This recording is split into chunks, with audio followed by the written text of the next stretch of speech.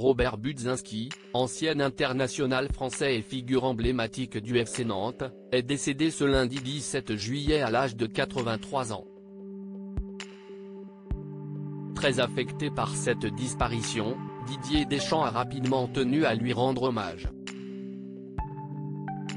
Le monde du football est en deuil, une nouvelle fois.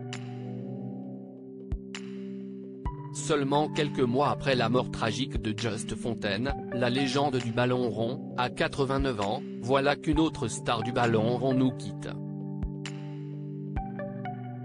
Il s'agit cette fois-ci de Robert Budzinski, ancien international français et directeur sportif du FC Nantes, qui est décédé ce lundi 17 juillet à l'âge de 83 ans.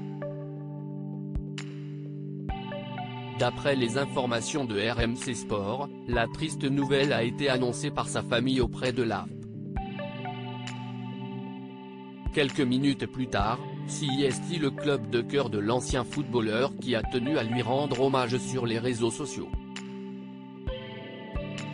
Le FC Nantes a appris avec une immense tristesse la disparition de Robert Budzinski, figure emblématique du club. Visionnaire et passionné, Bud laisse une empreinte indélébile, celle d'une perception du football qui a forgé notre identité. Le FC Nantes lui doit beaucoup.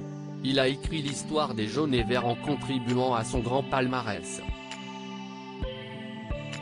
À sa famille, ses amis et proches, le FC Nantes présente ses plus sincères condoléances, est-il écrit sur Twitter.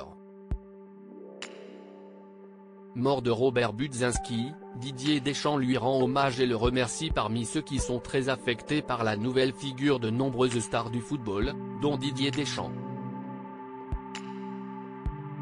Le sélectionneur de l'équipe de France, qui a été formé au FC Nantes, n'a pas pu s'empêcher de rendre hommage à celui sans qui il n'aurait peut-être pas connu sa carrière professionnelle. Le décès de Robert Budzinski suscite en moi une profonde tristesse. Robert aimait le FC Nantes et ses joueurs. Je suis bien placé pour le savoir. Il a joué un rôle essentiel dans ma venue au centre de formation, alors que j'étais adolescent, puis dans mon éclosion chez les pros.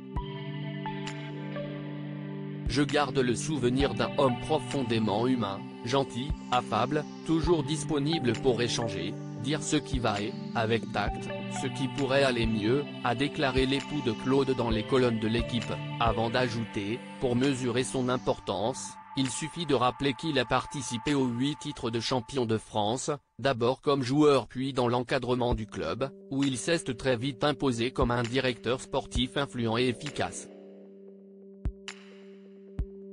Une légende de plus qui s'en va.